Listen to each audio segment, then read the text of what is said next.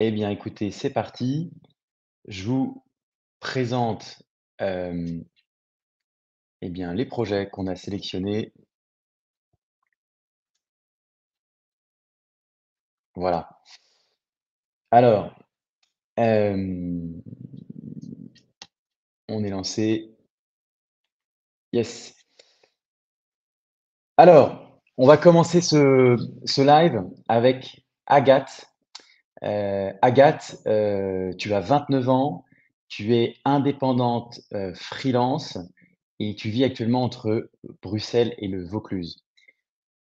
Parmi les nombreux objectifs qu'on avait listés, hein, qui, sont, bien sûr des récurrents dans, les motivations à se lancer dans un projet immobilier, bah, c'est simple Agathe, toi tu les as tous cochés.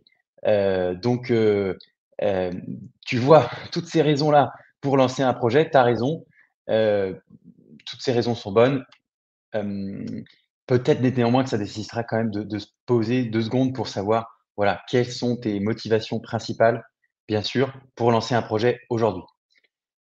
Rapide mot sur, heu, voilà, ta situation, tu es pas encore propriétaire d'une résidence principale ni d'autres investissements et ah bah, je vois qu'Agathe nous écoute et présente, en ce en ce moment même donc heu heu, super. N'hésite pas à rajouter du contexte si jamais tu le souhaites, heu, en même temps.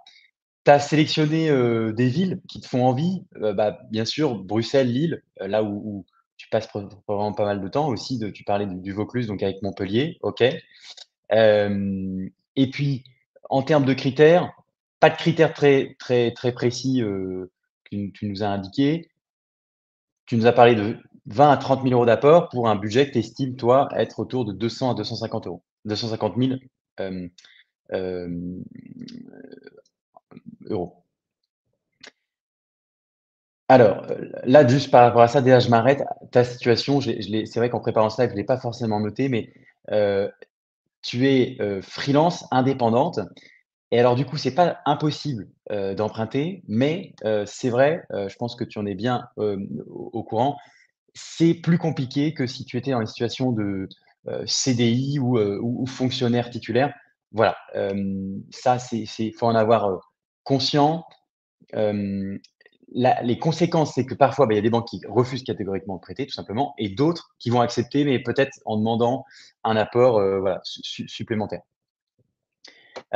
Ça, ça sera bien sûr à à voir, au cas par cas avec les banques, vers qui tu vas t'adresser. Moi, je t'invite vraiment, la 1re des choses, à aller voir ta banque historique, celle qui te connaît le mieux, celle qui voit aussi peut-être tes flux financiers depuis des années. On n'est pas à l'abri de bonnes surprises. En tout cas, nous, on en constate qu'il s'en passe pas mal des bonnes surprises. Hem, il suffit d'aller voir les banquiers. Au niveau de tes grandes interrogations, tes grandes questions, bah, très classique. Voilà, est-ce qu'il faut acheter une résidence principale ou un investissement locatif? Qu'est-ce qui est le plus rentable? Heu, bah, on va discuter de tout ça maintenant. Alors, moi, la 1re remarque, heu, quand j'ai lu ton profil, heu, tu m'as l'air, au vu de ton activité et des informations que tu nous as communiquées, heu, tu m'as pas l'air encore stabilisée géographiquement. Donc ma 1re question pour toi, c'est est-ce que vraiment, voilà, tu as élu, élu domicile quelque part et où tu passes vraiment la la plus partie de ton temps? Est-ce que tu as un projet de vie, projet personnel, de vraiment t'implanter, que ce soit à Lille ou à Montpellier? Mais pourquoi cette question? Parce que, acheter une résidence principale, à mon sens, ça ne se fait que si on a, heu, j'allais dire, difficile d'avoir de certitude sur, des projets avec une horizon de temps aussi long, mais qu'on a le sentiment et l'envie, voilà, de se de se baser quelque part, durant, bah, heu, le le le les 5-10-15 voire 20 prochaines années. Pourquoi ça?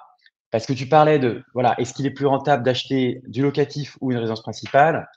Certes, quand vous achetez une résidence principale, bah, vous arrêtez de balancer de l'argent par les fenêtres en ne payant plus de loyer à votre propriétaire. Mais par contre, acheter une résidence principale, c'est, heu, payer de votre poche les mensualités de crédit, c'est, heu, payer souvent des travaux parce que vous allez voir remettre le bien au goût du jour et à vos goûts personnels. C'est payer, bah, bien sûr des des frais, hein, qui sont afférents à toute transaction immobilière. Ce qui conduit, en fait, à au fait que la la la l'achat d'une résidence principale il devient intéressant si on reste un certain temps dans votre logement. Si acheter aujourd'hui un appartement, heu, par exemple, à Paris et y résider 2 ans et le revendre, voilà, au bout de 1-2- 2 ans après avoir vécu 2 ans, c'est un non-sens, c'est une hérésie. Vous allez pour le coup, c'est plus balancer l'argent par les fenêtres que de rester locataire. Parce que vous avez les frais de notaire, qu'avec la dynamique du marché actuel, hem, même passé, même si votre bien prenait, heu heu, encore, comme c'était par récemment encore, bah, heu, 1% ou 2% ou 3% par an, ça suffit pas à rembourser tous les frais que vous allez engager dedans. Pas oublier que non plus, quand on commence à rembourser un crédit, on paye d'abord les intérêts avant de payer le remboursement du capital. Vous pensez que vous allez rembourser votre crédit pendant 5 ans, sur un crédit qui a été contracté pour une durée de 20 ans, hem, vous n'allez pas rembourser 1/4 du capital. Très important ça. Donc j'insiste, acheter une résidence principale, c'est hyper important pour, heu, si c'est un bon investissement, mais ça peut l'être en tout cas si vous avez décidé de rester longtemps dans cette, dans cette région-là. Heu, bah, il s'avère que nous, on a même mené des études, il y en a on en a publié une, heu, en mars 2023 où on a justement comparé, bah, les durées minimum qu'il fallait en moyenne par ville, heu, pour qu'une résidence principale soit un investissement plus rentable que de rester locataire et de d'investir votre surplus d'argent que vous dépensez pas dans votre remboursement de crédit de résidence principale et bah, dans d'autres produits d'investissement. De l'investissement locatif, par exemple, comme ce qu'on fait chez Bivouac, mais aussi ça peut être aussi d'autres placements boursiers et cetera. Et il s'avère que voilà, en moyenne, heu, à Paris, il faudrait rester 28 ans pour que ça soit plus rentable d'acheter uniquement votre résidence principale à Paris que de faire d'autres investissements dans le même temps par ailleurs. La moyenne nationale, hem, à l'échelle de la France, c'est 12 ans, hein, donc sachez-le. Heu, ça, c'est pas disons, c'est une étude de Meilleurs Agents qui est parue le 5 septembre dernier. Je vous invite à les retrouver sur leur site internet. Voilà, qui qui démontre qu'en moyenne en France, il faut rester 12 ans dans sa résidence principale sans en changer si, vous voulez que ça soit plus intéressant que de rester locataire et d'investir le surplus de votre épargne dans d'autres placements par ailleurs. La différence, elle est elle est toute simple, c'est que j'ai mis le mot actif versus passif. Acheter une résidence principale, acheter un investissement locatif, vous achetez dans tous les cas un produit immobilier, mais ça n'a rien à voir. Dans dans le cas de la résidence principale, c'est vous qui allez travailler, c'est vous qui allez rembourser votre crédit. Vous avez créé un passif. Dans le cas de vous créez vous créez une dette, voilà, et c'est vous qui allez devoir travailler pour pour la rembourser. Dans le cas d'un investissement locatif, et ben, vous allez, heu, créer une dette, certes, parce que vous allez prendre un crédit, mais vous allez en face créer aussi un revenu. Votre locataire qui va lui, c'est tout l'intérêt, rembourser votre crédit à votre place. Bon, Agathe, heu, admettons que tu aies une banque qui te suive, tu as décidé de te lancer dans l'investissement locatif. Hem, moi, ma heu, en tout cas, ça serait d'acheter, voilà, un LMNP. Alors peut-être du coup à Lille, qui est une ville que tu connais bien visiblement ou dans une autre grande ville, hem, avec, heu, voilà, pas trop d'efforts d'épargne non plus, pour pas te bloquer pour l'achat d'une résidence, principale plus tard. RP pardon pour c'est résidence je voulais dire résidence principale. Alors, bah, on va prendre des exemples de projets. Je propose, donc, alors il faut que je change juste, il faut que je change de voilà. A priori là maintenant vous vous voyez mon écran. Heu, j'ai cliqué sur, heu, un 1er projet qu'on a sélectionné. Donc là pour ceux qui connaissent pas ça, ben, on est tout simplement sur, une fiche d'investissement, Bivouac. C'est un projet qu'un de nos chasseurs a sélectionné. Voilà, alors on est dans un immeuble, très bien situé, à Lille, une construction, heu, voilà, relativement, heu, moderne. Un budget total d'acquisition, heu, 244 000 €. Ça, c'est vraiment avec tous les frais inclus, nos honoraires compris. Un rendement qui est très, très correct pour le le le centre-ville de de Lille. Voilà et des loyers qui vont quasiment couvrir déjà, tu vois, 100 du de la mensualité d'emprunt. On est vraiment, à 4 minutes, à pied, voilà, de de l'île Flandre. C'est, donc du coup hyper bien situé. Puis vous voyez, bah, il y a y a plein d'autres petits points sur la carte. Ça, c'est plein d'autres investissements qu'on a déjà réalisés à ces endroits-là. Voilà, là, c'est vraiment du un investissement, patrimonial, par définition. Qu'est-ce que ça implique comme, comme, effort financier? Voilà, on voit un peu le détail, hein, de l'ensemble des des des frais qu'il faut débourser pour, devenir propriétaire. Alors, on peut même faire joujou, voilà, rajouter si demain tu as besoin d'une banque, si tu connais pas déjà une banque qui te qui est prête à te suivre et bien, heu heu, voilà ce que tu tu devrais rajouter pour passer par un courtier. Hem, en tout cas, voilà, au bilan comptable, on estime, nous, avec, heu, que ce ce cet appartement, il nécessitera de ta part un effort de trésorerie mensuel de près de 400 €, heu, ce qui commence à être pas mal. Heu, faudra pas dépasser non plus, trop cette somme-là. Mais en tout cas, voici ce que tu peux avoir, si tu, dépenses, cette somme-là chaque, chaque mois. Bon, je vais pas aller trop dans le détail non plus.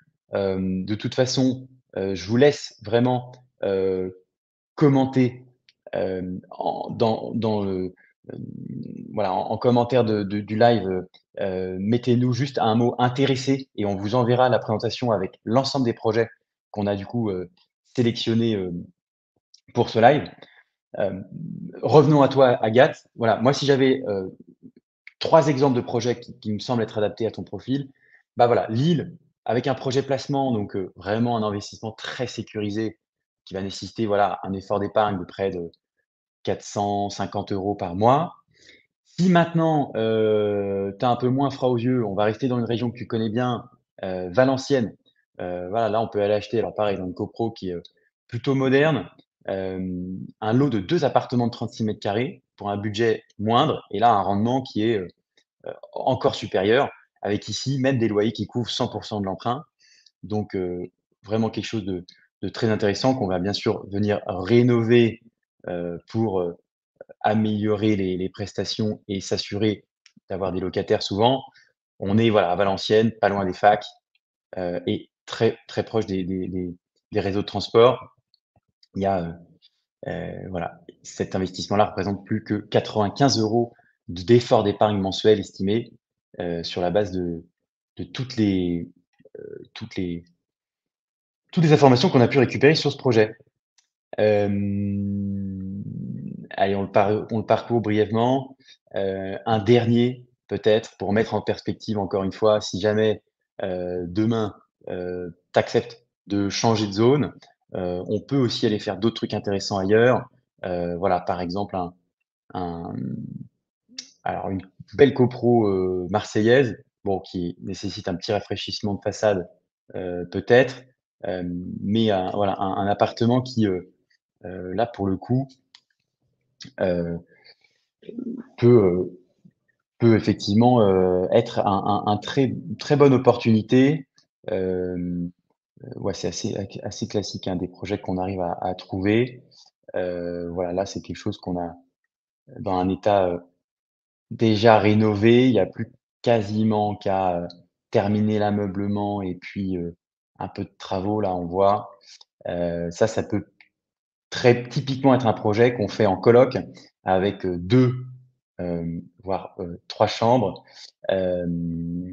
Et puis, dans ce genre de ville, Marseille, ce qui marche pas mal, c'est qu'on arrive à voilà, par exemple, louer 9 mois de l'année à un étudiant et puis, avec un bail mobilité qui nous laisse la la flexibilité l'été, par exemple, de mettre, un, en location courte durée. Ce qui permet d'atteindre ces niveaux de rendement très intéressants dans un quartier qui est en vraiment en train de bouger. Heu, voilà, on peut zoomer. On est, heu, bah, on est vraiment, ouais, pas loin des Réformés, à 2 pas de la gare, donc en hyper centre. Voilà, écoute, Agathe, je pense que ce qu'il faut retenir, c'est oui, LMNP, oui, donc un achat, locatif parce que tu vas, tant que tu es pas arrêté sur une ville, tu vas, voilà, avoir pouvoir commencer à mettre un pas dans l'immobilier avec des locataires qui vont travailler pour toi.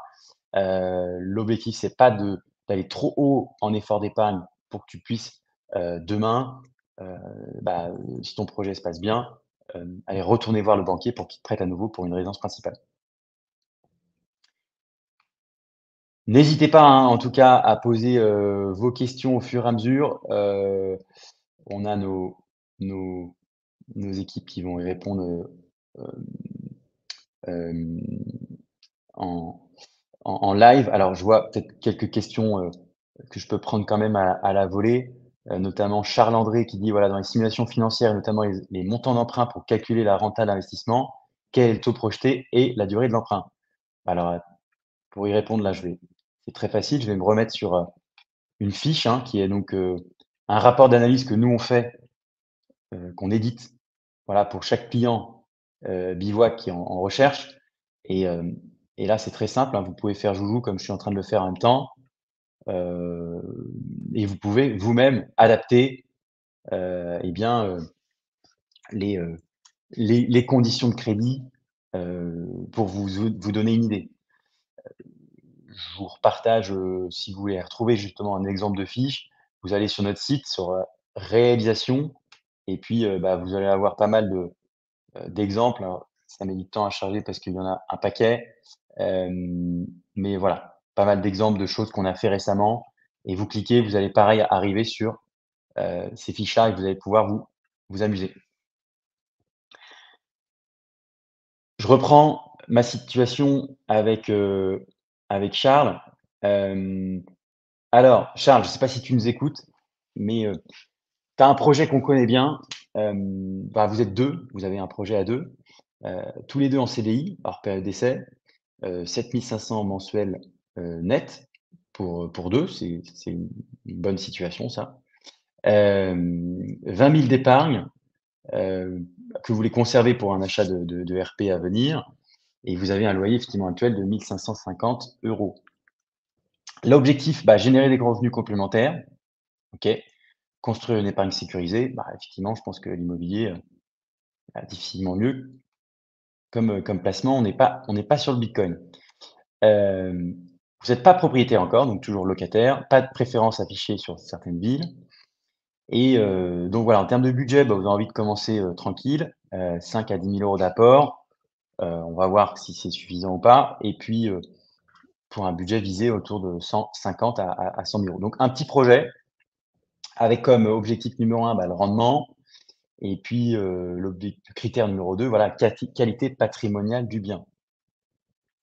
Bon alors sachant que ça, c'est vraiment, bah, malheureusement, heu, mouton à 5 pattes n'existe pas, généralement plus le bien est heu, est très, très bien situé et aussi d'une très belle qualité patrimoniale, la belle pierre haussmannienne et cetera, bah, généralement, malheureusement, le rendement ça s'en ressent et c'est pas là, généralement, on a les meilleurs rendements, mais est-ce qu'on arrive à trouver des projets qui font un peu le bon équilibre entre les 2? C'est pas impossible. Bon, je com je comprends bien le contexte parce qu'effectivement, heu, bah, chez nous, on en voit débarquer très souvent. 65% de nos clients ne sont pas propriétaires d'une résidence principale et ils ont 32 ans en moyenne. Donc on comprend bien les questions et heu, justement à propos de questions, bah, c'est, heu, vos interrogations, c'est: «Est-ce que c'est possible d'acheter sans apport?» et puis, bah, quelles sont les stratégies pour limiter le risque? Alors, hem Déjà, je vais répondre tout de suite sur l'apport là, bien sûr que c'est l'objectif, hein, de mettre toujours le moins d'apport possible. Maintenant, il y a une réalité, il y a, bah, voilà, un contexte, une conjoncture, heu, bancaire, heu, qui fait que, heu, les banques sont quand même, moins conciliantes qu'elles ne l'étaient il y a peut-être, heu, 2 ou 3 ans.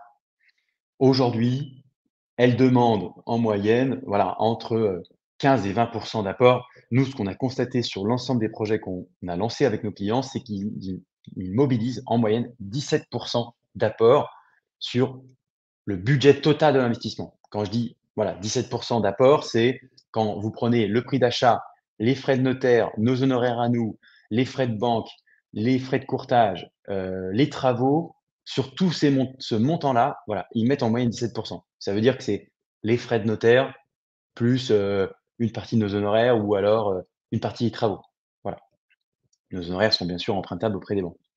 Donc, ça reste très bien, à vrai dire, heu et c'est pas le cas de toutes les banques. Bien sûr, c'est aussi notre métier de vous orienter vers les bonnes banques. Mais, hem, mais voilà, ce ce à quoi il faut s'attendre quand on se lance dans un projet locatif, hem, il y a quand même besoin de sortir un peu d'argent. Donc peut-être que ça sera 20 000 € qu'il faudra mobiliser pour un projet au autour d'une centaine de milliers d'euros en budget total. Voilà.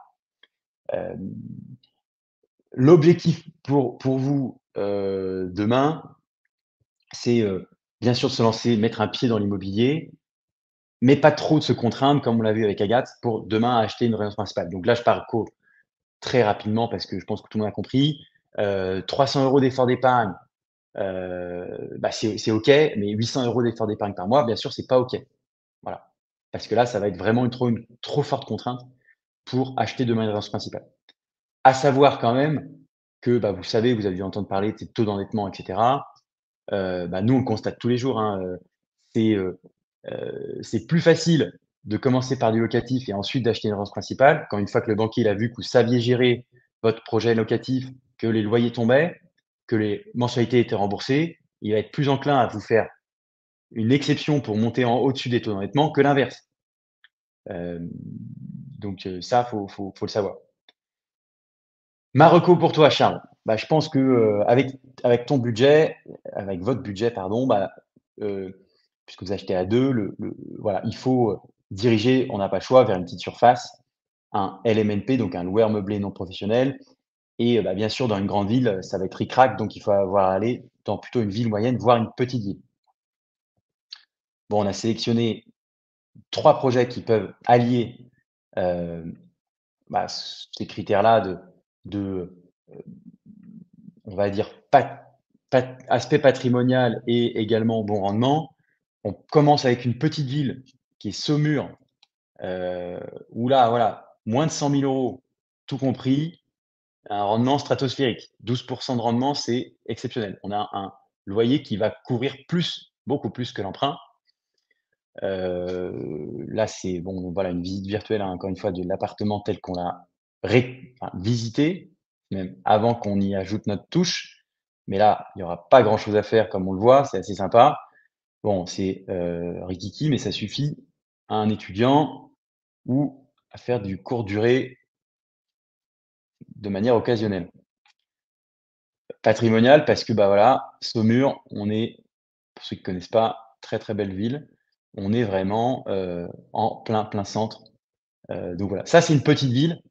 C'est, heu, c'est c'est, heu, pas le pla le placement, qui hem, on va dire, va apporter peut-être le plus de de de de garanties, heu, sur le très long terme. On a plus de garanties forcément quand on a dans une grande ville, avant que la situation économique de Lyon soit telle que plus personne n'y vive. Il va se passer un temps. Bien sûr, quand vous investissez dans une plus petite ville, le risque est potentiellement plus fort, mais Saumur, il y a beaucoup de tourisme, c'est un marché, quand même très dynamique. Cet investissement-là, heu, vous rapporte vraiment de l'argent, même quand vous y ajoutez à des frais aléatoires qui vont dépendre de votre projet, de votre façon de gérer, heu, voilà, on est toujours en flux de trésorerie positif. Heu, voilà, c'est bon, c'est très rare ça et heu et malheureusement, on pas trouver ça dans les grandes métropoles, mais mais c'est encore possible dans les petites. OK. Ensuite, bah, si voilà, on est un peu, heu, on a envie de se se aller dans une métropole quand même plus dynamique, où on va avoir peut-être plus de visibilité sur, heu, l'augmentation des prix parce que, heu, si aujourd'hui on entend souvent dans la presse que les prix baissent, heu, c'est vrai en fait, mais c'est vrai à Paris, heu, Bordeaux, heu, hypercentre de Lyon, Nantes, heu, voilà. Mais, heu, il y a des villes, notamment les villes moyennes, heu, qui voient leurs prix encore continuer d'augmenter à l'heure où on se parle. C'est le cas de Dijon, c'est le cas de de Poitiers, c'est le cas de Nancy. Hem, c'est c'est même encore le cas de Marseille qui fait figure d'e d'exception parmi les grandes villes, parce que je vais pas m'étendre trop sur le sujet, c'est pas l'objet. On a beaucoup, beaucoup discuté, hem, chez Bivouac pour aller suivre notre newsletter, suivre, nos articles parce qu'on en parle très souvent. Mais, voilà, aujourd'hui, ce sont les villes moyennes qui vont continuer de prendre de la valeur. Pourquoi? Parce qu'elles sont moins chères, c'est simplement là où les Français ont encore du pouvoir d'achat. Plus personne, quasiment plus personne, à moins de jouer au loto, peut acheter, Paris 1er, heu, voilà, en tant que primo-accédant, heu, c'est très, très compliqué. Bah, c'est pareil à Lyon, heu, sur la presqu'île. Heu, par contre, bah, à Dijon, bah, c'est encore possible d'acheter des trucs sympas, avec un budget qui est commun des mortels et Marseille aussi parce que Marseille fait figure d'exception parmi toutes les grandes métropoles avec des prix encore très bas. Ça va pas durer. Voilà pour ton, ton appart à Nancy, bah, très sympa, hein, on voit la copro là, c'est quand même hyper bien tenu, des petites moulures. Nancy, il y a quand même des très beaux immeubles. Hem, 18 mètres carrés, ça c'est quand même top. Bon, on a vu les photos, je vais pas vous ramener, heu, à l'intérieur et puis voilà, bah, on est on est hyper bien situé parce qu'on a plein de facs, voilà, juste à côté, heu, du côté de Laxou et de Villers-lès-Nancy qui sont vraiment là et vous êtes juste à côté du centre-ville. Pas loin de la gare également, donc heu ça, heu, si c'est pas déjà vendu, heu, je comprends pas. Qui plus est à 7,64 de rendement, heu, je pense pas que ça soit quelque chose qui soit encore dispo, voilà. Heu, même globalement comme encore les tout ce qu'on arrive à trouver dans ces budgets-là, dans les villes dynamiques, heu, même encore aujourd'hui, ça reste pas très longtemps. Heu, voilà, Nancy, c'est une ville, bah, qui va continuer de prendre de la valeur. C'est une ville qui est encore, entre guillemets «pas chère» et heu, on arrive encore à trouver du rendement, tout en étant très bien situé, très bien relié depuis Paris. Donc c'est un autre investissement, hem, voilà, dans une ville un peu moyenne. Maintenant, on peut aller regarder aussi pour faire le terminer le tour, heu, Poitiers avec, bah, là, on t'a sélectionné un, autre un autre bien dans une copro un peu plus récente cette fois. Toujours un studio, hein, pareil en dessous de 100 000 € avec un rendement près de 7,5% C'est, très, très bien dans une ville qui a pris près de 50 voilà, les prix ont augmenté de 50% en 2022 à Poitiers. C'est énorme, hem et ça continue d'augmenter à l'heure où on parle. Donc heu donc heu, c'est pas voilà, c'est pas la même dynamique que certaines autres grandes villes. Heu, vous l'avez bien compris, il y a encore un phénomène de rattrapage qui, je pense, va continuer de se produire. Voilà, et Poitiers, bah, il y a pas mal d'étudiants aussi et vous voyez ici, c'est super bien situé.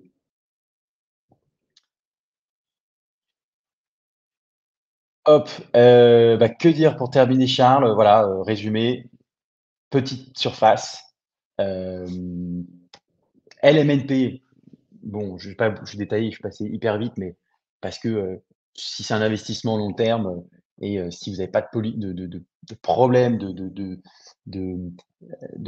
fiscalité très importante, que vous avez besoin de descendre, en fait, le LMNP est quand même plus plus, plus approprié sur un investissement qu'on va détenir pendant, heu, 10-15-20 ans. Vous payez moins d'impôts que si vous étiez même en nu avec du déficit foncier, parce que vous avez fait beaucoup de travaux. Donc voilà, LMNP, petite surface, dans une ville dynamique moyenne, là-dessus, vous êtes gagnant à tous les coups. Heu, enfin à tous les coups, si vous choisissez la bonne ville, heu, encore une fois et ça faut faut lire nos articles ou venir nous voir, voilà. Hem, bah, d'ailleurs, hein, j'en profite, n'hésitez pas, si voilà, tout ce tout ce que je dis là, tout ce que je fais, avec vous aujourd'hui, en fin de compte, c'est, ce que font, au quotidien, bah, nos nos, nos conseillers en investissement. Donc, je vous montre, hein, c'est très simple. Vous allez sur, bivouac.com, je souhaite investir et puis, bah, vous vous laissez guider, et en quelques questions, bah, déjà vous permettre d'avancer su vous, sur votre projet et puis ensuite, bah, alors j'ai perdu l'écran. Ensuite, nos conseillers sont là au quotidien pour, répondre à vos questions et vous parler de vos projets comme, comme je le fais à l'instant. Donc n'hésitez pas, les à les consulter. Ils sont là pour ça, ils se feront un plaisir de vous aiguiller. Alors passons maintenant à Serge. Hem, j'ai vu, hein, il y a des questions dans le dans le dans la dans la dans le fil de discussion, mais heu, je pense que je vais répondre aussi à une partie au cours de cette présentation. Donc volontairement, je garde celles pour la fin qui ne seront pas, répondues. Serge, toi, tu es chef d'entreprise proche de la retraite, donc heu, évidemment plus âgé que nos profils précédents. Tes objectifs, j'ai noté, voilà, réduire mes impôts, transmettre, heu, ton patrimoine et puis, bah, bien sûr, heu, une épargne sécurisée, des revenus complémentaires. C'est pourquoi on fait de l'immobilier. Toi, tu es déjà propriétaire de l'agence principale et d'un ou plusieurs investissements locatifs et tu as ciblé des villes, a priori, qui sont Lyon, Nancy et Marseille. Alors, les critères, qualité patrimonia patrimoniale du bien, et forte demande locative. Bon, heu, oui, là, on sent que tu as envie de réaliser le placement. Hem, bah, évidemment, quand on s'intéresse à transmettre, heu, quand peut-être arrivé à un certain stade de sa vie, heu, on a bien on a bien bossé, on a aussi fait de bons investissements, on a commencé tôt, on a de l'argent à placer, on est prêt peut-être à mettre un peu plus d'apport, c'est ton cas, près de 100 000 €. Bon, on n'est pas, voilà, la priorité, c'est de sécuriser, donc heu, aller chercher des voilà, des biens plus patrimoniaux.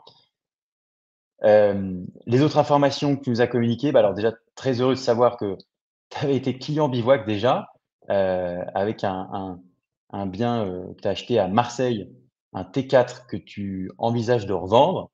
Alors là, je t'invite à réfléchir 2 secondes pour, et mettre poser l'équation, voir combien ça va te te te rapporter, heu, versus combien ça t'a coûté en frais et cetera. Est-ce que c'est vraiment le bon moment de vendre? Ça, c'est heu, c'est une question qui peut se poser. Heu, Marseille continue de prendre de la valeur, hem, à l'instant où on se parle.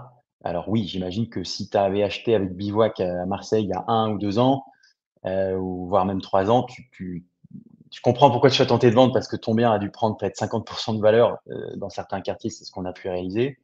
Donc heu, donc ça m'étonne pas, mais maintenant, heu, voilà, faut faut faut poser l'équation, heu, vraiment à plat pour, pour savoir est-ce que c'est le bon moment.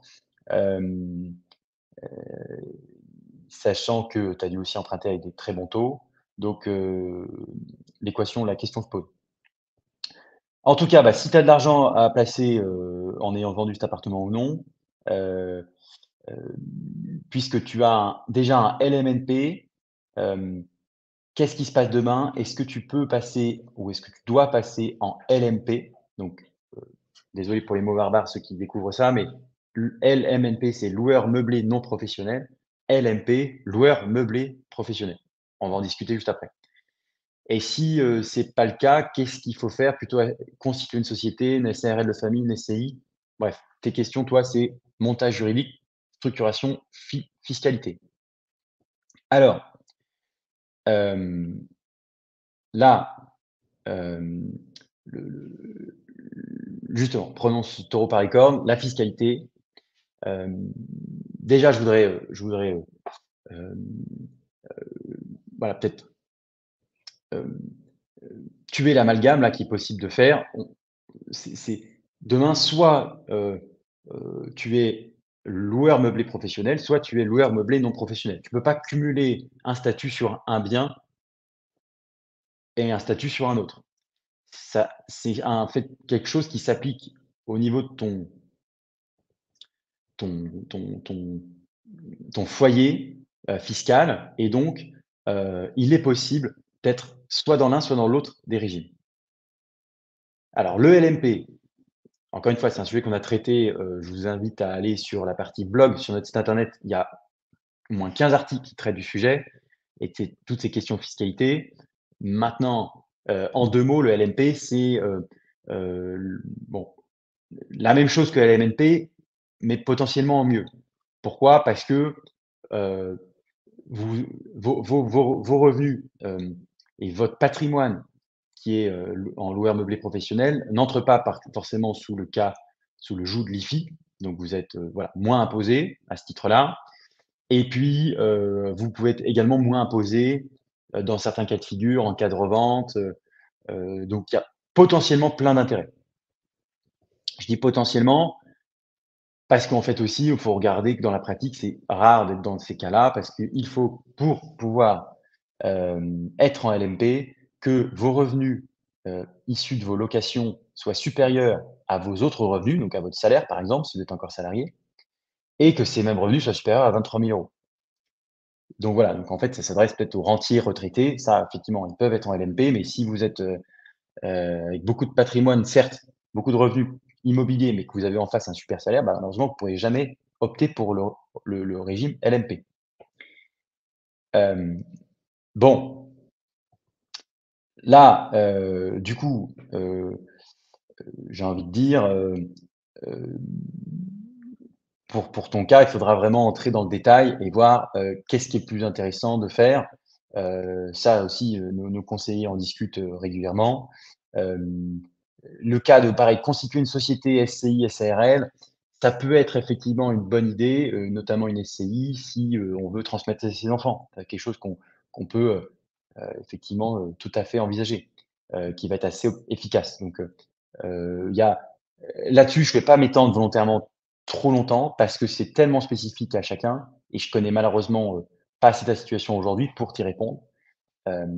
Parce que je vois aussi, par exemple, que tu es chef d'entreprise et chef d'entreprise, je sais pas si tu es déjà structuré avec une holding, par exemple, mais si tu as voilà, au lieu de te verser un salaire, heu, au lieu de te verser des dividendes qui sont imposés, que tu reviens, voilà, imposer quand tu te verses à toi, à ta personne physique, bah, si tu as déjà une holding, tu dois peut-être déjà le savoir, bien sûr, mais tu pourrais, mettre une SCI en dessous de ta holding, faire remonter les flux financiers de ton activité principale, passent dans la holding et qu'ils arrivent dans la SCI pour te permettre de financer de l'immobilier.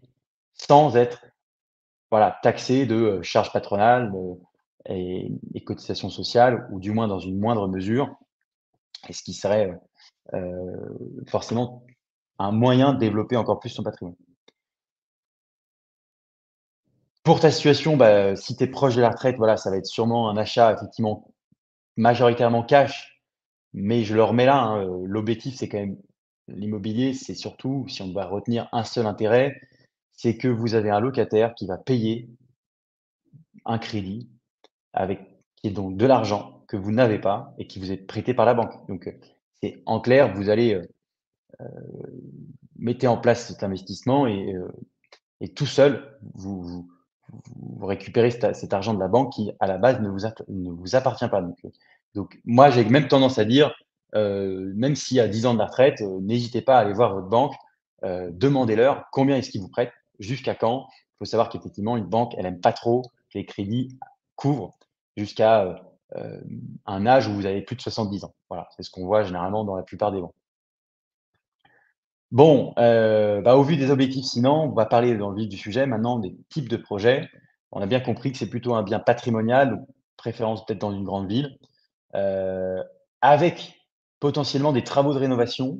Parce que si tu as une problématique, de fiscalité, peut-être que ça peut être aussi intéressant, voilà, de pas se mettre sous le joug de la de la du LMNP ou du LMP tout de suite, heu, mais peut-être de faire, heu, une location nue au réel pour pouvoir bénéficier du régime particulier du déficit foncier. Déficit foncier, je la fais très courte parce qu'encore une fois, ça pourrait on pourrait faire un live entier juste là-dessus, mais vous allez faire des travaux, vous allez avoir beaucoup de charges et vous allez avoir plus de charges que de revenus et ce déficit, en fait, bah, vous allez pouvoir l'imputer sur vos autres revenus issus de salaires ou autres placements et donc vous allez pouvoir payer moins d'impôts sur votre situation globale. Voilà. Pas forcément toujours le plus intéressant parce qu'encore une fois, ça dépend de la dynamique dans laquelle vous êtes. Si vous voulez garder ce bien très longtemps, qu'est-ce que vous voulez en faire avec tout derrière? Ça, ça s'optimise, mais sur des cas précis, ça peut être intéressant. Les projets, bon, grande ville, patrimonial, bah, heu, il y a une ville qui marche super bien, qui a super marché, qui continue de bien marcher, bah, c'est Rennes. Hem, là, on t'a trouvé, heu, voilà, un appartement. On parlait de travaux tout à l'heure, il y a encore des trucs à faire, mais dans une belle copro, hyper bien située, à un budget, voilà, de près de 220 000 €. Heu, donc on voit, hein, forcément le rendement, c'est moins ça, mais l'aspect patrimonial du bien, voilà, on peut pas faire beaucoup mieux situé hyper, hyper, hyper centre. Heu, donc ça, c'est vraiment, voilà, un type de projet, heu heu, qui à mon sens, vaut le coup d'être, étudié. Un peu plus petit, un peu moins cher parce que, voilà, encore une fois, ça va être la question de à combien tu peux emprunter, mais si tu peux moins emprunter, il y a un studio, par exemple, à Lyon, dans une belle copro historique, voilà, des des immeubles vraiment de la presqu'île lyonnaise. Heu, ça, c'est hyper chouette. Heu, en plus, c'est déjà loué, donc alors on n'est pas sur la presqu'île si on est sur la presqu'île, pardon, voilà, au pied de la pente de la Croix-Rousse, c'est, heu, quartier, en vogue à Lyon. Très, très bien situé, voilà, 15 carrés, on arrive encore à avoir quelque chose, dans des budgets raisonnables. Là, c'est vraiment totale acquisition avec les travaux, même de rénovation qu'on a prévues demain, heu, dès lors que le locataire part, heu, et cetera, et cetera. Donc, heu, il y a des trucs encore, sympas. Et puis, bah, voilà, là encore, ça dépendra si jamais tu revends un appart, que tu as, du coup plus de cash à placer, pourquoi pas aller faire effectivement, un projet avec un peu de rénovation, quoique, heu, il paraît que ça revient à la mode ces ces ces sols en mais voilà, une belle copro aussi à Rennes, avec un budget voilà, sensiblement supérieur, 430 000 €. On peut faire une colocation là-dedans et on est, ouais, très, très bien situé, vraiment pas loin de République, donc un quartier vraiment très central.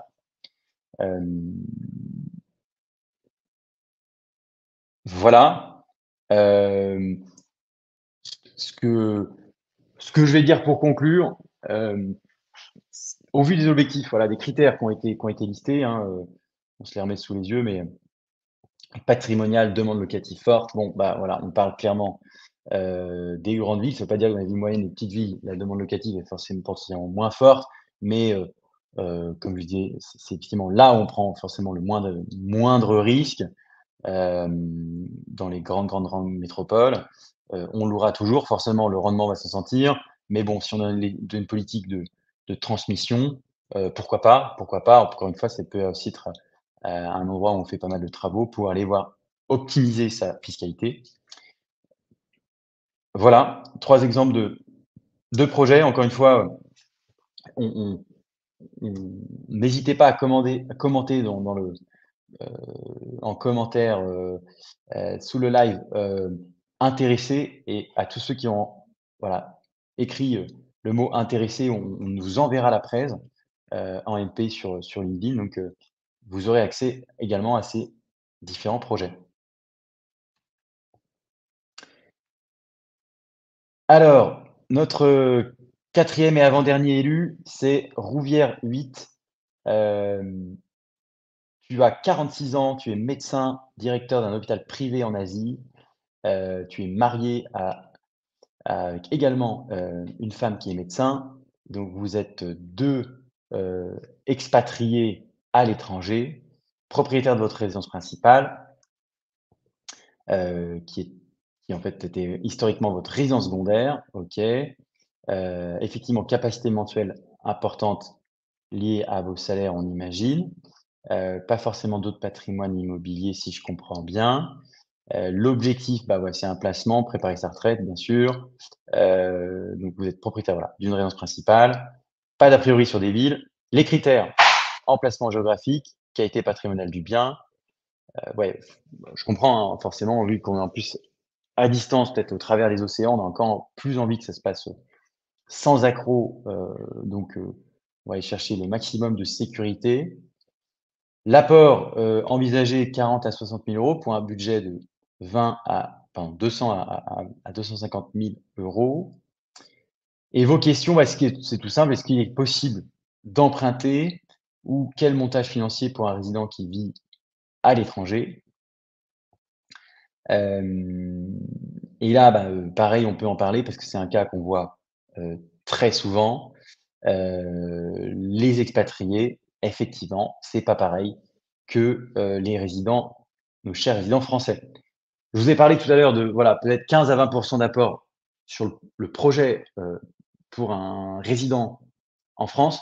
Pour l'expatrié, c'est plus et même parfois, heu, il nécessite plus d'apport et même parfois de mettre d'autres garanties pour pouvoir obtenir un crédit. Soit vous avez d'autres patrimoines immobiliers et là, en fait, vous pouvez, heu et bien, mettre en en nantissement d'autres, heu, biens immobiliers.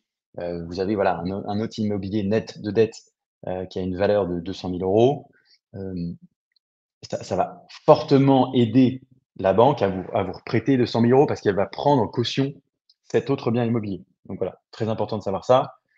Ou alors vous avez d'autres placements, des des assurances vie, heu, des, livrets, voilà, d'autres placements financiers. Vous pouvez également, proposer que la banque prenne ça pour caution et là, c'est heu, encore des des choses qui vont faciliter, mettre de l'huile dans les rouages pour qu'elle vous prête. Mais d'une manière générale, ce que nous on constate, hein, parce qu'on a également des réseaux de courtiers spécialisés pour les expatriés. Nos clients expatriés, voilà, on en a pas mal, heu, elles demandent quand même généralement plus d'apport. Il faut s'attendre à 30% en moyenne.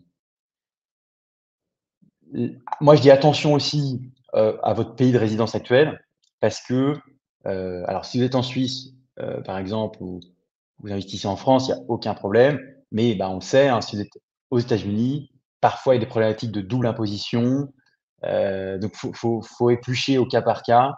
Bah, nous, on fait ça pour vous conseiller, heu, s et vous être capable de vous vraiment vous représenter quel impôt, heu, vous allez devoir payer, si tant est que vous allez devoir payer des impôts. Parce qu'encore une fois, si vous optimisez bien, notamment, bah, avec le LMNP, heu, vous allez peut-être pas avoir d'impôts justement à payer pendant les 10-12-15 premières années. Heu, mais voilà, ça s'étudie vraiment au cas par cas en fonction aussi de votre pays et c'est pas la même chose quand vous habitez la Suisse, les États-Unis, l'Angleterre ou la Thaïlande. Hem, donc attention aux conventions fiscales, pas de déduction, bah, du déficit effectivement, même on boucle, la la parenthèse, fiscalité, mais il y a certains régimes où vous pouvez générer du déficit pour payer moins d'impôts. Heu, il s'avère que, bah, puisque vos revenus ne sont pas domiciliés en France, vous ne pourrez pas bénéficier, heu, de cet avantage-là. Mais bon, voilà, on l'a vu, il y a d'autres, heu d'autres, régimes fiscaux qui sont aussi très intéressants, que vous pourrez employer.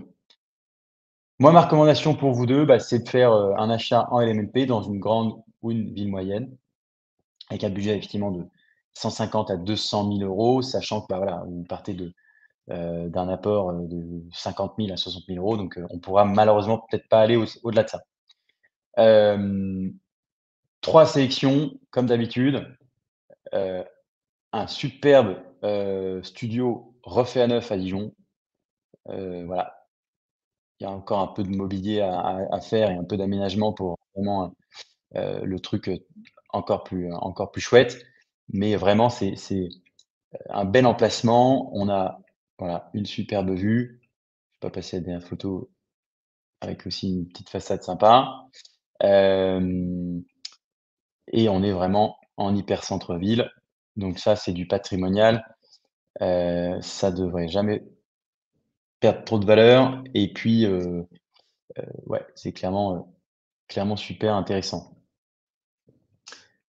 On va aller maintenant, heu, sur un 2e placement à Angers. Pareil, un petit studio, un peu moins rentable. Angers, bah, une ville qui est quand même déjà plus chère, plus dé plus plus plus développée déjà que que Dijon. Heu, là, il y a un peu de travaux à faire, donc heu, ça peut être intéressant, mais il y a une copro qui est quand même très sympa. Hem, ouais, c'est quand même chouette de pouvoir avoir près de 6% de rendement pour un budget encore, bien maîtrisé dans une dans un lieu quand même hyper patrimonial à Angers, qui est une ville très étudiante. Ça, c'est vrai qu'on on en fait beaucoup. Puis ouais, moi j'aime bien Angers c'est un un très, très beau patrimoine. Voilà, on on on voit le on voit la vue et la hauteur sous plafond. Heu, ça, c'est quand même chouette. Ouais, il y a pas à dire, heu, on est en plein, plein, plein centre, donc heu, on va juste regarder en termes de bilan financier, qu'est-ce que ça peut représenter? Voilà, près de 300 €, heu, d'effort ne heu, d'effort de trésorerie, mais alors là, on a mis que 16% d'apport, donc si on se met avec 30% d'apport, voilà, on passera un peu moins. Alors il faut que le système s'actualise. Alors je suis sur 20 ans, les taux sont ce sont. Bah, voilà, on est à 200, heu, et quelques, 250 € d'e d'effort d'épargne. Puis bien sûr, bah, plus vous mettez, vous mettez d'argent, moins vous allez devoir, dépenser. Voilà, et puis, alors, on l'a sélectionné quand même, mais, une 3e opportunité, si jamais vous arrivez à mettre effectivement en heu, vos, peut-être d'autres investissements, d'autres patrimoines que vous avez, que ce soit financier ou immobilier, bah, vous pouvez peut-être aller chercher un budget, heu, supérieur, près de 250 000 €. Heu et là, on a, voilà, près de 7% de rendement, dans, un lot de 2 appartements, donc près de 60 m² au total. avec effectivement un loyer qui équilibre quasiment les les mensualités d'emprunt, et qui je pense même avec 30% d'apport permettrait d'être à l'équilibre donc heu heu, sûrement une, 3 bonnes affaires à aller chercher. On conclut, voilà, pour vous 2 expatriés, ben, c'est classique. Faut avoir en tête qu'on va mettre plus d'argent sur la table dès le départ. Les banques, en fait, elles ont un peu moins envie de faire des efforts pour des clients qu'elles vont pas voir, heu, tous les 4 matins débarquer à l'agence. C'est aussi simple que ça.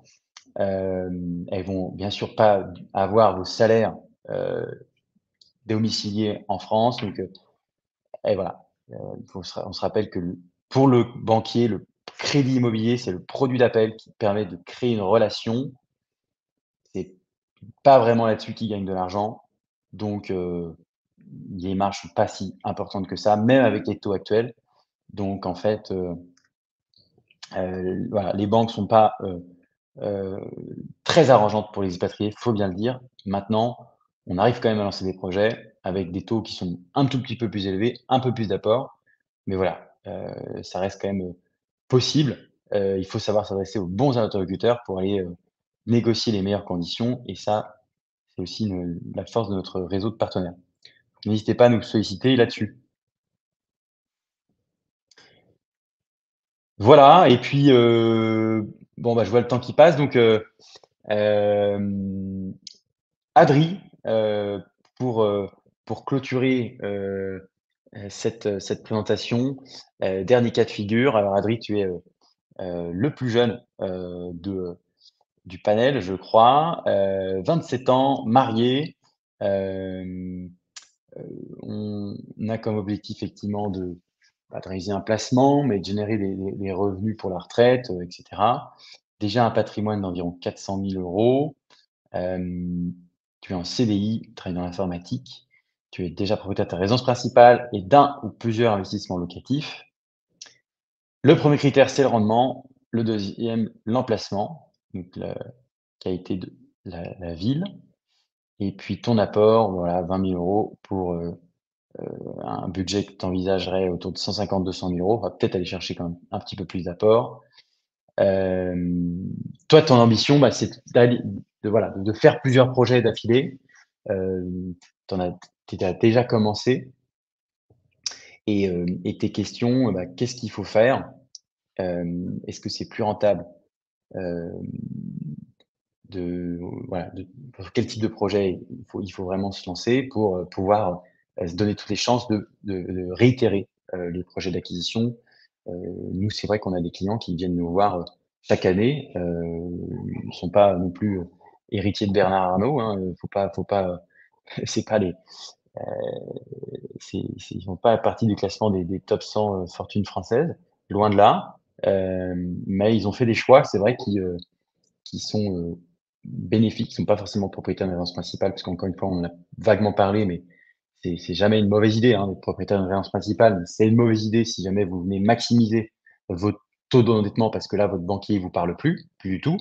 Alors que si vous avez d'autres investissements locatifs qui qui travaillent tout seuls et qui se remboursent et puis, heu, que votre banquier, voit les les loyers qui tombent, c'est beaucoup plus facile pour lui de vous prêter qu'au 1er venu qui va débarquer, heu, qui a jamais investi dans le locatif, à qui il aura plus de difficultés à faire confiance.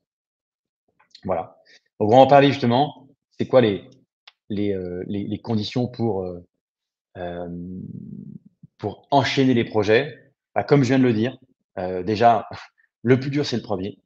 Hem, je dirais la 2e condition, c'est quand même de de de pas, maximiser sa capacité d'emprunt, donc de de son taux d'endettement, pardon. Donc voilà, les banques vont calculer le ratio entre la somme de vos charges, donc bah, les mensualités que vous devez, vos les pensions alimentaires si vous en versez, votre loyer si vous êtes locataire, sur, bah, le l'ensemble de vos revenus et au-delà d'un certain pourcentage, elles vont elles vont elles vont un peu se friser. Bien sûr, ça dépend de combien vous gagnez de revenus, heu heu et cetera. Si vous gagnez 100 000 € à l'année ou 40 000 € à l'année ou 400 000 € à l'année, c'est pas la même chose, heu, bien entendu, mais heu, voilà, faites bien attention à ça et en fait, j'ai envie de dire il y a pas de généralité malheureusement avec les banques, heu, ça dépend surtout de la relation que vous avez avec votre banquier. Est-ce qu'il v vous fait confiance? Et là, du coup, j'ai envie de dire, s'il y a bien un seul conseil que je peux donner, c'est faites le tour des banques, trouvez un banquier qui comprend l'investissement immobilier, qui a envie de vous suivre. Dites-lui que votre ambition, c'est d'en faire plusieurs et puis, bah, lancez le 1er et vous verrez, est-ce qu'il est-ce qu'il, tient parole ou pas? Mais, heu, s'il tient pas parole, vous en changerez. Voilà. En tout cas, c'est possible et fort de ça, bah, voilà, on va se dire que pour toi, Adri, on va surtout s'orienter vers, un achat. Alors si c'est du long terme, du coup, bah, LMNP, pareil, on revient pas dessus. Sûrement une grande ville ou ville moyenne avec un budget autour de, voilà, 150-200 000 €. Hem, voilà, on est plutôt sur des villes moyennes, heu, avec, heu, du coup 3 sélections, un 1er, un T2, heu, à rénover à Dijon. Bon, vraiment un très bon état et avec des petites moulures au plafond, on on adore. Heu, et un peu de taf dans la salle de bain. Mais voilà, vraiment très belle copro, très beau patrimoine, ça, c'est hyper sympa. Heu, 155 000 € de budget total, plus de loyer que de mensualités d'emprunt, 9 près de 10 % de rendement. Heu franchement ouais, là, il y a rien à dire. On est en hyper, hyper centre. Donc ça, c'est top. On peut en faire un appartement très sympa. Heu ouais, bah, écoute, celui-là, heu, je sais pas combien de temps il va rester. Ça m'étonnerait qu'il y soit encore. Heu, voilà, que dire de plus? Bah, sinon, on peut faire du Poitiers. Poitiers, ville moyenne, encore une fois, qui a le vent en poupe. Là, on va faire un mix aussi, heu, hem, avec, peut-être de la location courte durée. Poitiers, il y a Futuroscope, ça marche super bien, appartement traversant. Bon là, il y a voilà, pas mal de réno à faire. Ça, c'est chouette aussi parce qu'on peut avoir un investissement moins cher. Faut le savoir aujourd'hui, hein, les passoires thermiques, les trucs qui sont à rénover, bah, oui, aujourd'hui, on a plus de négociations qu'on n'avait pas forcément ailleurs. Heu, avant, pardon, quand le marché était très haussier. Aujourd'hui, on peut se permettre, heu, de négocier jusqu'à -10, -15 %. C'est pas toujours le cas parce que même sur des opportunités comme ça, elles sont très recherchées encore, mais, voilà, sur des trucs qui traînent, depuis longtemps sur le marché, on y arrive. Voilà, quand c'est sorti à la veille et qu'il y y a 5 visites, comme c'est le cas parfois dans les marchés qui continuent de prendre de la valeur, heu, comme un Poitiers, bah, on n'y arrive pas toujours, mais en tout cas, il il en ce moment, faut faut pas oublier, heu, là, c'est quand même, hyper chouette. Je pense que Poitiers, on doit être à mon avis, est à 140 000 € tout tout frais inclus et on est à l'équilibre, on est à l'équilibre, avec l'ensemble des charges même comprises dans ce calcul. Donc, une belle pépite pour, heu, voilà, un projet un projet qui typiquement, heu, permettra à ton à ton banquier de, et bien de heu, de te suivre, sûrement les yeux fermés une fois que une fois que tu auras rentré les loyers pendant une certaine durée. Nous, on voit, hein, en moyenne, ils arrivent les clients arrivent à à relancer un projet, heu heu, tous les tous les tous les 12-12-14 mois, heu, voilà. C'est ceux qui ont mis tout en place, heu, pour le faire, en tout cas, ils y arrivent. Hem et bah, terminons avec ça, heu, un immeuble de 3 appartements, voilà, à Romilly-sur-Seine. On n'est pas très loin de Troyes. Là, c'est plus, voilà, une petite ville. Bon, il y a déjà du loué, du pas loué, heu, petit immeuble. Là, c'est si tu as déjà d'expérience, que tu as envie de te lancer dans quelque chose de de de qui va demander peut-être un peu plus de gestion si tu veux gérer toi-même. Hem, après, il faut trouver des bons partenaires pour les pour pour l'immeuble. Ça, nous, on a bien sûr. Heu, si tu le fais pas toi, ça coûte déjà parfois un peu plus cher en gestion, c'est simplement ça. Mais bon, avec des loyers qui couvrent plus que plus que l'emprunt, heu, c'est un bon petit projet sympa, 3 appartements pour 120 000 €, tout compris. Heu, c'est voilà, on est vraiment sur, là, la petite ville, plus risqué. Heu, c'est pas la même, heu, perspective patrimonialement parlant qu'investir à Rennes ou ou je ne sais quoi, hein, bien sûr. Mais, heu heu, voilà, des des des projets, rentables qui valent la peine d'être étudiées. Hem voilà, bah, écoutez on a fait le tour. Heu, je vois qu'il est 14:30 passées. Heu, on a parcouru 5 situations différentes. J'espère que, heu, vous êtes peut-être reconnu dans une de ces 5 situations. Vous avez posé tout un tas de questions. Est-ce qu'il y a, voilà, encore des personnes connectées, qui, ont des questions, à ce stade, veulent que je prenne maintenant? Heu, n'hésitez pas à me les glisser en commentaire pour les dernières minutes. Hem et puis, heu, sinon, bah, écoutez, je vous invite à, voilà, prendre rendez-vous avec un de nos conseillers sur notre sur notre site internet. Je vous l'ai montré tout à l'heure. Heu, c'est très simple et bah, vous aurez quelqu'un de dédié qui pourra faire ça, la même chose que je viens de vous faire, avec vous et vraiment essayer de vous aiguiller. Et puis, hem, heu, hésitez pas non plus à commenter intéressé, heu, même si vous regardez ce live, en replay, on suivra le post et puis on enverra à tous ceux qui ont commenté intéressé pour, faire, vous envoyer la présentation, vous envoyer ces exemples, voilà. N'hésitez pas, bien sûr, comme comme d'habitude, à nous, heu, transmettre vos feedbacks, vos vos impressions, nous dire ce que vous avez pensé de ce live. Si vous voulez qu'on en refasse, heu, ce sera avec, heu, grand plaisir. Si vous avez d'autres idées de format également, hem et puis, bah, si vous voulez qu'on en refasse, heu, on pourra, heu, voilà, suivez-nous, on publiera un d'ici peu, ben, un formulaire pour vous permettre à vous aussi de soumettre votre projet et de et de de voilà, d'être, peut-être tiré au sort pour la prochaine fois qu'on puisse vous y répondre plus précisément. Hem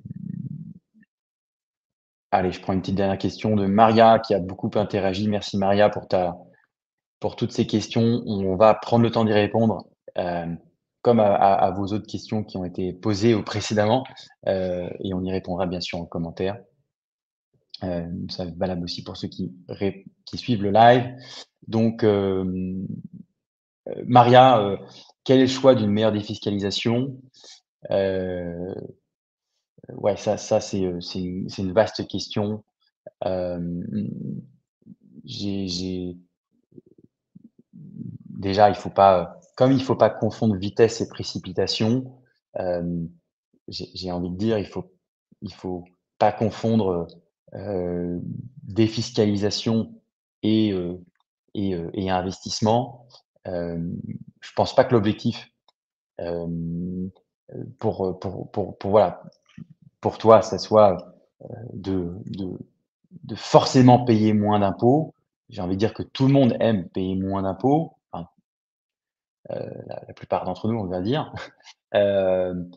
Mais qu'avant tout, ce qu'on souhaite à par-dessus tout, c'est c'est gagner plus d'argent et du coup, préparer sa retraite, gagner des revenus supplémentaires et heu et attention parce que c'est bien pour cette raison-là, que nous, ça fait 7 ans qu'on existe, qu'on n'a jamais proposé un seul investissement Pinel, par exemple. Heu, c'est parce qu'à ce stade, heu, depuis 2017, heu, 2016, heu, j'ai déjà encore jamais trouvé un investissement Pinel, qui certes propose une défiscalisation, mais j'ai jamais trouvé un investissement Pinel qui soit plus intéressant qu'un investissement dans l'immobilier, dans l'ancien, comme ce qu'on fait, heu, voilà, tous les jours chez Bivouac. Heu, il y a de ça plein de raisons. Voilà, le neuf, c'est en moyenne 34 plus cher que l'ancien. Heu, donc certes, vous avez, une réduction fiscale, mais en fait, quand vous faites tous les calculs, bah, on se rend compte que, la réduction fiscale, vous payez moins d'impôts, mais vous gagnez encore moins d'argent parce que vous avez payé votre bien trop cher, parce que, heu, vous avez des loyers qui sont majorés, heu, donc qui sont plus faibles que le marché. Heu, bref, tout un tas de raisons. On a aussi pas mal détaillé ce sujet sur notre site. Je vous invite à aller sur la partie blog pour vous renseigner et puis, bon, encore ça se pose la question se poserait peut-être il y a 7 ans, mais aujourd'hui, ça se pose encore moins parce que, voilà, les avantages du Pinel, tout le monde le sait, ils sont encore moins avantageux qu'ils ne l'étaient déjà avant. Donc défiscalisation j'ai envie de dire, heu heu, moi, ça me fait souvent marrer quand je vois que c'est l'objectif numéro 1 de certains prospects investisseurs. Heu, ça manque ça vient sûrement d'un manque d'éducation. On peut pas leur en vouloir. Le marketing est très bien fait aussi de toutes parts, pour essayer de vous vendre de la défiscalisation à à tire-larigot. Mais, heu, s je pense que tout le monde sera d'accord pour dire qu'en fait, ce que je veux, c'est pas forcément oui, j'aimerais bien, payer, moins d'impôts, mais ce que je veux surtout, c'est gagner plus d'argent. Donc donc après, quand on a quand sait ça, bah, on va s'intéresser à investir dans les immobiliers, dans les biens qui sont qui répondent au mieux à la définition d'un bon investissement et c'est quoi la définition d'un bon investissement? C'est, 1 quelque chose qui est rentable, donc faut d'abord aller regarder le rendement. 2 c'est quelque chose qui est qui va se louer facilement parce que si vous ouvrez juste Leboncoin, vous allez, heu, regarder là où sont les rendements les plus élevés, bah, vous allez atterrir vite à Saint-Étienne ou à Béziers. Mais, heu, bon, c'est il s'avère qu'en fait, si vous avez un appartement à destination d'étudiants qui est libre en plein mois de février à Saint-Étienne, vous allez peut-être vous asseoir sur vos loyers pendant 6 prochains mois et vous allez attendre le mois d'août ou le mois de septembre suivant pour pouvoir remettre en location parce que la tension locative, bah, c'est pas la même qu'à Lille, c'est pas la même qu'à qu'à Paris, c'est pas la même qu'à Lyon. Ou et ça, c'est ah, de ce fait-là qu'il y a plus de rendement parce qu'il y a plus de risques associés, parce que la tension locative tout simplement n'est pas la même. Et puis, bah, enfin, le le dernier aspect qui est très important, c'est sa capacité à cet investissement de à prendre de la valeur dans le temps. Investir dans une ville dynamique. Voilà, aujourd'hui, à l'heure où on se parle, bah, il y a des villes qui continuent de perdre de la valeur malheureusement. Il y en a qui continuent de prendre de la valeur. Et heu, un investissement à Rennes, heu, par exemple, bah, si vous aviez acheté à Rennes avec Bivouac en 2018, heu, on a des clients qui ont fait déjà fois 2 sur l'investissement, depuis 2018. Heu, pourquoi? Bien sûr, il y a eu une baisse de taux qui a impacté de manière générale le marché, mais il y a aussi des projets, voilà, structurels. Une LGV qui a rapproché tout l'ouest à Paris. Heu, Rennes, c'est aussi, heu, la ville où il y a le plus de création d'entreprises en France, rapporté au nombre d'habitants. Et puis c'est aussi un voilà, il y a eu plein de politiques locales, heu, avec notamment, bah, certains quartiers, je pense à Rennes-Diligent par exemple, où, on a construit un 2e métro qui est venu se croiser avec le 1er à cet endroit-là. On a délocalisé un CHU. Tous ces tous ces tous ces phénomènes en fait, bah, contribuent à aussi modifier une dynamique locale et à, à voilà, à à vraiment à à faire en sorte qu'on qu'on soit un bon investissement pour pour pour pour toutes ces raisons-là, ça vaut, heu, beaucoup mieux que qu'un investissement où on paye juste moins d'impôts. Hem, parce que, heu et et et donc c'est tout ça qu'il faut regarder. En tout cas, hem hem, j'espère avoir, heu, voilà, déclenché certaines questions, réflexions, dans dans, pour, heu, pour la suite et puis, heu, pour vous permettre de mieux sélectionner vos vos projets futurs. Voilà, bah, écoutez, merci pour tous ceux qui sont encore là, maintenant. N'hésitez pas, même tous ceux qui nous regardent en live, à commenter et à poser vos questions, on y répondra. Merci de votre, nous avoir, et bien, heu, et et et questionnés tout au tout du long au long de cette, de cette séance. Moi, j'ai pris plein de plaisir à à vous présenter ça, donc j'espère que le format vous a plu également. Hem, et puis, heu heu, bah, encore une fois, n'hésitez pas à aller, hem, solliciter nos conseillers d'investissement. Hem, eux, ils font ça à longueur de journée. Moi, je fais ça que pour le plaisir, de temps à autre sur LinkedIn. Mais, voilà, si jamais le le format vous plaît, en tout cas, on on on en reproduira, heu heu, dites-le nous en commentaire, heu, voilà. Merci à vous et puis, je vous souhaite une bonne fin de journée et je vous dis, à la prochaine. D'ici là, bons investissements. Éclairez-vous parce qu'il y a plein de choses à savoir. C'est, pas si ça demande du temps, ça peut être un peu complexe, mais, voilà, vous avez les clés à votre portée. Heu, puis si vous les avez pas, bah, heu, faites-vous accompagner. Heu, voilà, mais en tout cas, heu, vous avez pas le droit d'acheter un Pinel sans savoir aujourd'hui. Ça, c'est une certitude. Et encore une fois, attention, je dis ça, il y a peut-être parfois des des exceptions qui confirmeront la règle, voilà. Peut-être que si on arrive à me trouver un Pinel plus intéressant que tous les projets qu'on a fait chez Bivouac, alors je nuancerai davantage mon propos la prochaine fois, mais malheureusement, je crois que c'est pas prêt de se produire. Merci à vous et puis, bonne fin de semaine et à la prochaine. Salut!